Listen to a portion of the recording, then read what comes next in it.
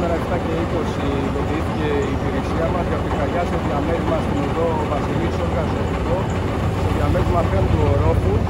Άμεσα κινητοποιήθηκαν 10 πυροτεστικά οχήματα μεταξύ των οποίων και βραχιονοφόρο και κλιμακοφόρο.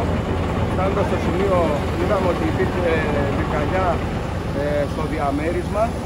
Υπήρχαν άτομα στο διπλανό μπαλκόνι καθώς και σε άλλα μπαλκόνια της υποδομής.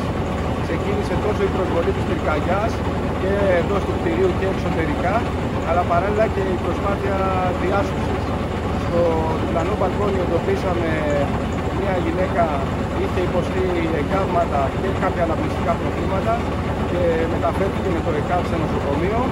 Άλλος ένας νεαρός, ε, ένας άντρας που διέμενε στο διαμέρισμα είναι καλά στην υγεία του και δυστυχώς εντός του διαμερίσματος υπάρχει απαντραπωμένο άτομο, άντρας ηλικίας 87 ετών.